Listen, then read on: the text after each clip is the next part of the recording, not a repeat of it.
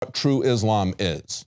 We don't see that. What we see from our perspective is the same as if we had Methodists trying to gun down Baptists in the streets and anybody else, Hindus, Muslims, atheists in the streets. We don't see that with any other religion other than Islam. And so that is a responsibility not for Donald Trump to defend Islam. It is a responsibility for Islam to define itself. It is a responsibility for the peaceful people of Islam to take it over rather than the jihadis. He goes on to say that presidential candidates have alienated many from learning about Islam. No, it is the radical Muslims and their violence that are alienating people, Muhammad Ali. Now, we see residents in Trump Tower, Chicago, say, I wish Donald Trump would shut up. He's going to get us killed. We're going to have an attack from Muslims. Think about that. If they're going to kill you because their religion is criticized, they are the problem. Trump is not the problem. This is the mindset of people who get on the trains to go to the concentration camps, being as obsequious as they can because they don't want to cross their leaders. It is very, very dangerous to have that attitude. But look at this attitude from the UK. The Daily Mail in the UK has pointed out that a legislator there has branded Donald Trump a hate preacher. But even more impressive is the claim that police, quote, fear for their lives, unquote, in radicalized London. In other words, if you criticize them, they will kill you. The police are supposed to stand up to thugs like that. They're not supposed to kowtow to them. They're not supposed to give in to this intolerance. This is what is wrong. It is not tolerance, it is nothing but cowardice. Why are people concerned about it? Let's understand what this looks like. Let's look at a country, our closest ally, Saudi Arabia. Let's look at what an Islamic theocracy looks like, because that's what the goal of Islam has been since the time of Muhammad. It has been a combination of religion and politics to establish a global governance. 16 things that can get you executed in Saudi Arabia. And as you go down this, you've got some of the things, okay, murder, rape, adultery. Adultery, wait a minute, that's a, that's a capital offense, get you beheaded there. Treason, consensual sex with a gay, uh, consensual gay sex, arson, robbery, burglary, drug dis- uh, distribution, a capital offense, get you beheaded. Drug prohibition. Now, here we get into the theocracy part of it. Apostasy, apostasy can get your head cut off in Saudi Arabia, our close ally. Consumption of intoxicants, sorcery, and witchcraft. This is what we have to look forward to as we surrender our culture to Islam, as we open up our borders as Jeb Bush, Hillary Clinton, and the rest of the uh, GOP and Democrat field pretty much want us to do. This is why voters are rejecting them. It is why they are embracing Trump. Stay with us. We'll be right back.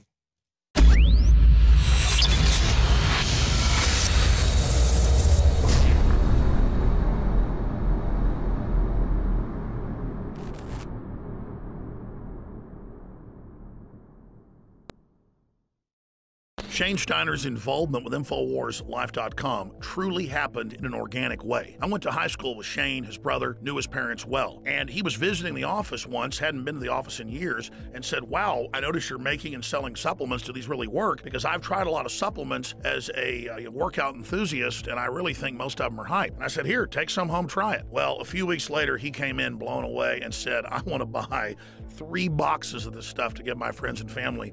It's simply amazing. He said, Why does it work so well? And I said, Listen, go to InfoWarsLife.com, watch the informational videos with Dr. Group and others. They understand how it all works. I know that it works for me. That's all I understand. The science, the facts, the research, people's testimonials, they're all on InfoWarsLife.com. You can check it out for yourself.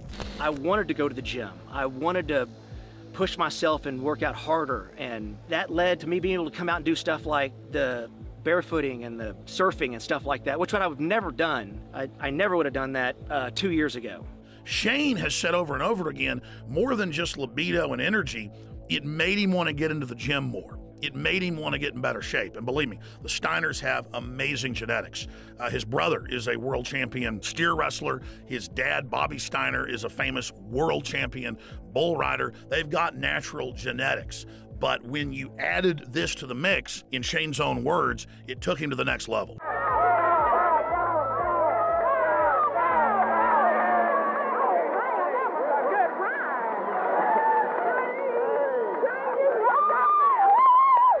Shane noticed the mental clarity Bobby was able to work out longer and gain muscle mass. He's already completely shredded. I gotta admit, for me, the biggest effect has been libido. Now, I've never claimed to have a body like some beach model, but back when I was 20, 22 years old and worked out every day, I looked great. But over the years, and being married, having three kids, working 18 hours a day, I gained basically 100 pounds. And it's been a long process losing that weight in the last four years. But if you look at the photos and the videos of what I looked like four or five years ago versus today, the results are dramatic. I'd already cleaned up my diet, I was working out hard, but I'd only lost about 20 pounds. It was adding the other key ingredients from InfoWarsLife.com that helped me personally go to the next level and shed another 35 pounds.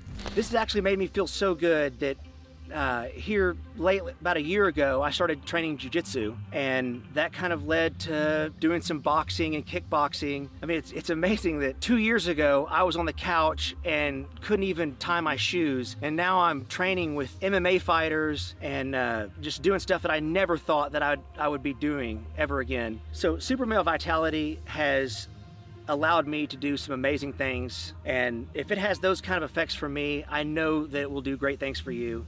So just try Super Male Vitality. I promise you, you'll love it. And finally, let's look at Anthony Gucciardi, Infowars.com reporter. He also works with Dr. Group and others, helping develop the newest, most cutting edge, high quality supplements. Let's take a look at what happened when he tried to barefoot ski for the first time with the Steiners. And remember, we're not making fun of him. He had the will to get in the arena, and he's lost more than 10 pounds in the last few years of fat and gained more than 10 pounds of muscle. And Anthony chalks it up to super male vitality as well.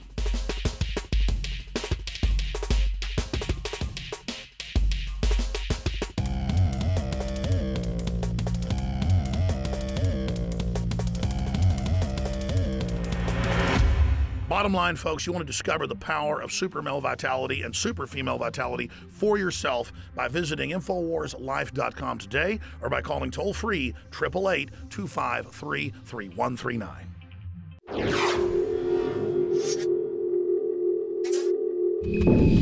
Now, as we went to break, we were talking about 16 things that could get you executed in our ally, Saudi Arabia's country, the uh, Sharia law that they have there. Things like consensual gay sex, apostasy, having consumption of intoxicants. But of course, those are just a few of the things that they will cut your head off for and that benevolent ally of ours, Saudi Arabia.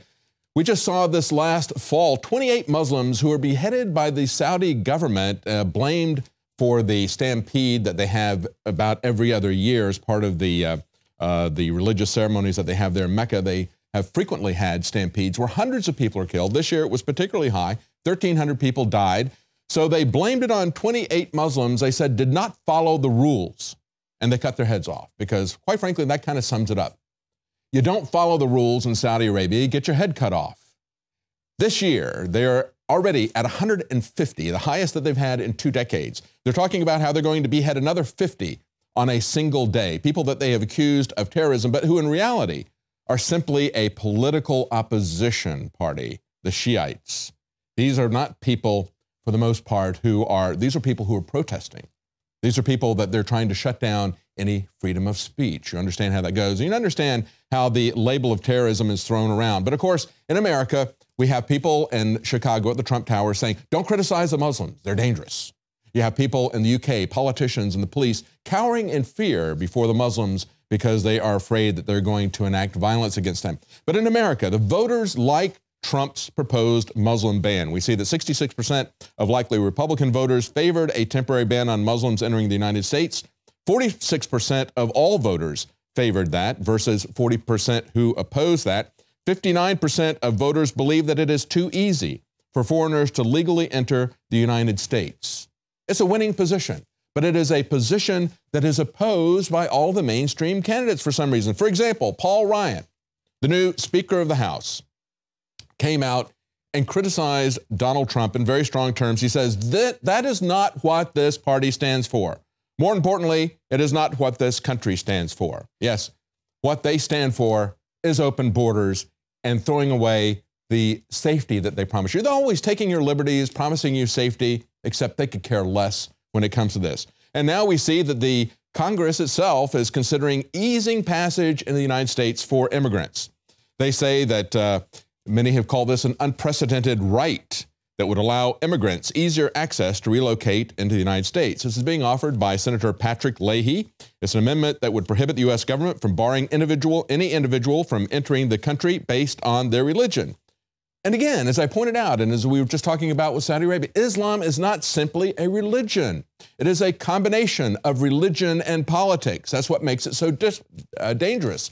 That was what was bad about Christianity was when it was combined with politics. That's when different religious sects within Christianity were executing each other. It's that combination of trying to dominate someone politically and combining that with the passion of religion. But going on with this, they point out this amendment to say, no, we're going to make it easier for immigrants to come into the United States. We're going to fly them in. We're not even going to have them try to sneak in uh, through Central and South America. We're going to fly them in and we're going to lower the barriers. They say this is an attempt uh, as a response to Trump's statement.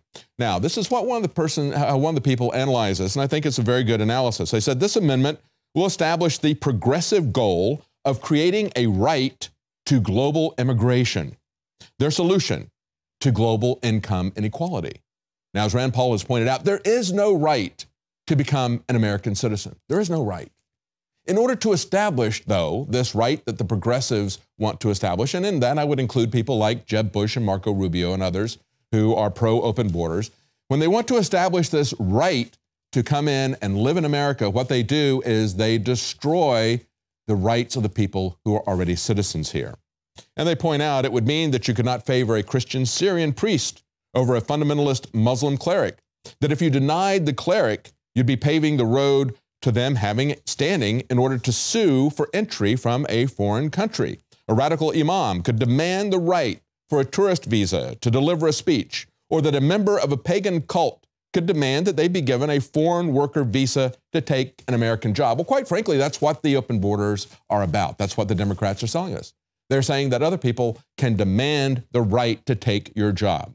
They can demand that you educate them for free. So, the response to the proposal that we need to know who's coming into our country because there are jihadis uh, operating in these countries, the response from Congress is let's make it easier. The response from the leader of the GOP is that's un American.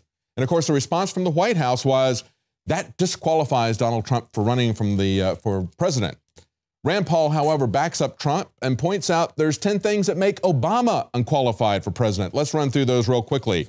He points out number one, he tried to take over a sixth of the economy in Obamacare. He wrecked the system, he hurt patients and taxpayers. Number two, Obama thinks executive order is legislation. He thinks it's how you make law. Number three, Obama fought an undeclared unconstitutional war in Libya, turned it into a jihadist wonderland. Number four, fighting an undeclared unconstitutional war in Syria and trying to put ISIS in Damascus. That should disqualify Obama from being president, Paul points out. Paul goes on to say Obama signed into law the indefinite detention of American citizens. That was the NDAA, which was signed on New Year's Eve 2011. Number six, his copy of the Bill of Rights obviously goes from one to three, skipping the Second Amendment. No, I would say that Obama's uh, version of the Bill of Rights has redacted every one of the Bill of Rights. Every single one of them is crossed out. Number seven, Rand says Obama is disqualified because the federal appeals court has ruled his NSA spying on every American was illegal. Number eight, Obama has added more debt than anyone in history. Number nine, Obama approved an attorney general who thinks speech against Muslims is a bigger threat than terrorism. Number 10, Obama's EPA rules by executive fiat trying to kill an entire American industry and a way of life. And of course, we could add to that uh, his imprisonment of whistleblowers is uh, uh, coming after more whistleblowers than anyone since 1917. And of course, his drone assassination program. But of course, the Supreme Court doesn't have a problem with Obama's drone assassination program. A couple of days ago, we reported on Infowars.com that the uh, Supreme Court said Obama can continue assassination program in secret even against Americans. The New York Times and the American Civil Liberties Union has been fighting for the release of memos from the federal government that would talk about their internal discussions about the legality of killing not only Anwar al-Awlaki but later his 16-year-old son by drone assassination. And of course, the assassination list is called the disposition matrix. They don't even call it a list. Think about the fact that we have a president who has an assassination list. He also has a no fly list. Now, the no fly list, I think we really ought to